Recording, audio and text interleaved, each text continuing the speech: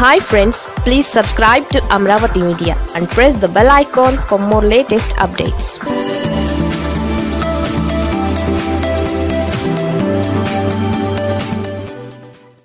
పాపం బీజేపీ ఏదో అనుకుంటే ఇలా అయ్యిందేం? ఆంధ్రప్రదేశ్లో భారతీయ జనతా పార్టీ ఆచూకీ కనిపించకుండా పోయింది. ఆ పార్టీ నేతల ప్రకటనలు ఆర్భాటమే తప్పించి ఆచరణలో మాత్రం పెట్టడం లేదు. నెలన్నర రోజుల క్రితం అమిత్ షా తిరుపతి వచ్చారు. ఏపీ బీజేపీ నేతలకు క్లాస్ పీకారు.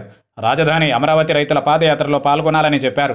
ఒకరోజు పాల్గొన్నారు ముగింపు సభలో కన్నా లక్ష్మీనారాయణ పాల్గొని షా మాటలకు విలువనిచ్చారు. ఆ తర్వాత దాని ఊసే వదిలిపెట్టారు. అది వేరే సంగతి.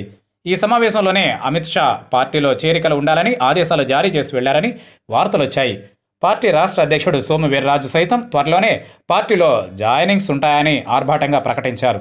అన్ని పార్టీల నుంచి తమ పార్టీలకు చేరేందుకు సిద్ధంగా ఉన్నారని ఇక కండవాలు కప్పడమే తరువాయి అంటూ కలరింగ్ ఇచ్చారు. అది నిజమేననుకుని పార్టీ కేడర్ ఖుషి అయింది. కానీ బీజేపీలో చేరేందుకు ఎవరూ మొగ్గు చూపడం లేదు. దీనికి కారణం ఆ పార్టీకి ఇక్కడ బేస్ లేకపోవడమే. జనసేన పార్టీ పొత్తు ఉన్నప్పటికీ దానిపై నమ్మకం లేకపోవడం వల్లనే ఈ పరిస్థితి తలెత్తింది.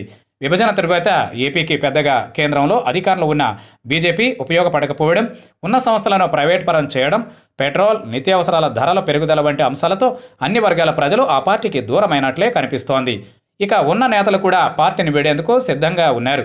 జిల్లాల వారీగా చేరికల కోసం బీజేపీ నేతలు జల్లడి వేసి చూస్తున్నా ఏ ఒక్కరూ ముందుకు రావడం లేదు. బీజేపీ కంటే జనసేనలో చేరితే ఫ్యూచర్ ఉంటుందన్న భావన నేతల్లో వ్యక్తమవుతోంది. ఇక వచ్చే ఎన్నికలలో ఏ పార్టీలో టికెట్లు రానివారు తప్ప ఏపీ బీజేపీ వైపు ఎవరూ కన్నెత్తి చూడరన్న కామెంట్స్ వినపడుతున్నాయి.